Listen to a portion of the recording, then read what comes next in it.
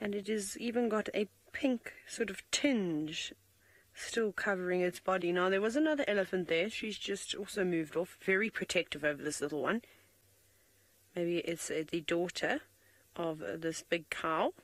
And she won't leave its side. It was actually quite amazing. She was they were standing together, huddled up, which makes me think that this little elephant is only a couple of days old. Now, first things first, because I, I, thought it was maybe brand new, because the fact that it's still a little bit pink. Um, first thing I did was I looked if there was any secretions between uh, the cow's back legs, but sadly there aren't, and that little one isn't particularly wet either. So I think it's probably maybe a day or two old. Oh, no, you're still very, maybe you're even newer than that. Maybe you're from very early this morning or last night.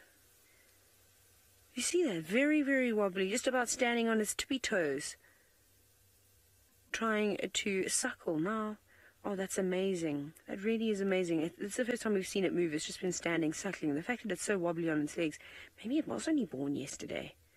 It is very small. Oh, that is amazing.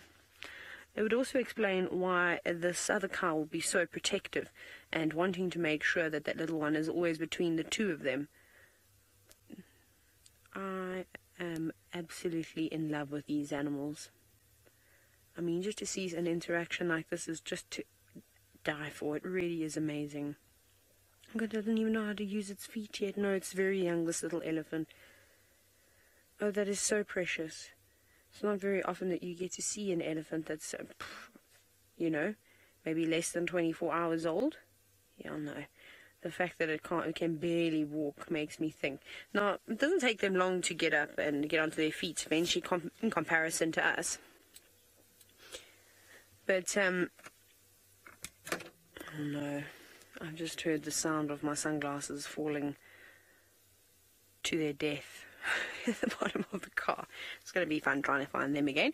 Anyways, now, uh, Sinak, you're wondering if elephant skin is sensitive to heat and sun. It, it most certainly is, and it's one of the reasons why they go and have mud baths and they cover themselves, is um, to try and keep themselves cool, and it's also basically a natural sunblock too. Um, to cover yourself in mud, and it's well, it's a three-in-one, I suppose. It helps keep you cool, protects you from the sun, and it also suffocates any parasites uh, that are on the body any ticks or anything like that. So it's actually really good mud. We should be using it more, I reckon. Maybe I'm going to start caking myself in mud for the afternoon safari so I don't get attacked by so many midges all the time.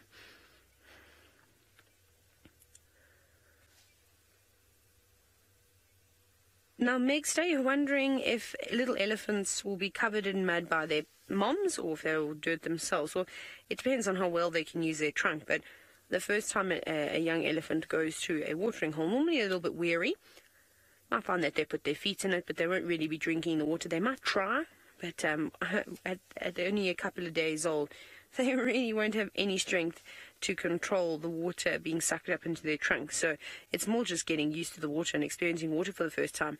Now, what I have seen little elephants do that haven't been able to throw mud on themselves is to just lay down in it and then, well, wriggle around on their sides and then get up and do the same thing and then roll over to the other side and wriggle around and then they're quite content with covering themselves in mud like that. But remember, they're also walking around in mom's shadow the entire time. Uh, for the first few months of their life, so uh, I've actually watched the elephants out here. It's really interesting, in fact, how they will all follow mom and, and they sort of stick behind her, but on the side that's forming or casting the shadow where the shade is falling. And they'll just use her as an umbrella, basically, which uh, I thought was very sweet. Um, we're very lucky to have seen that. Wow, we've been very spoiled the last couple of days. It's been really, really amazing.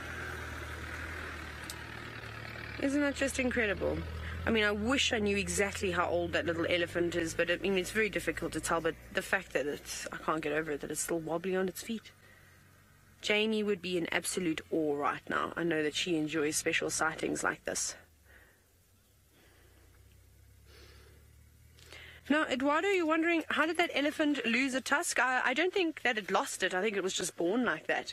From what I can see, it's actually not uncommon at all to see elephants with no tusk or one tusk. Um, sort of a genetic mutation that I suppose uh, happens. Um, maybe she has broken it off at the folds of the skin, but I couldn't see anything protruding. It's also very difficult to see something like that. So, so, and that could have just been defending her youngsters from a bull trying to push a big bull away because he's getting a bit too frisky. But um, if you go down to where I'm from, the southeast coast of South Africa, it's actually not uncommon at all to see elephants with no tusks whatsoever. Not so bad. Feel sorry for them in the Sabi Sand, though, if they don't have any tusks, because they use them to help dig for water, strip bark off of trees. You know, here they're feeding mainly on grass. I think I think the question was Richard, and it was um, sorry, I just had a moment there where I heard it and went in one ear and out the other. If you find a tusk on the ground, what do you do with it? Is the question from Richard. Um, well, it depends on the area, I suppose. I actually don't know what the protocol would be. Uh, to whether they'd leave it or whether they would take it and put it in storage.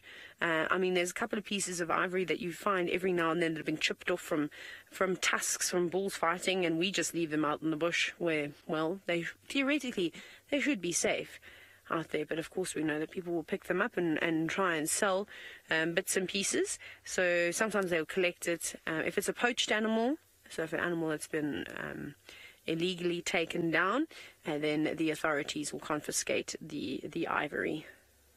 Oh, shame. It's so thirsty. It's been a very hot day today as well. So it's probably a little bit on the exhausted side. But we're going to let this little one suckle through and into the night, and we're going to go and search for the Ngamas.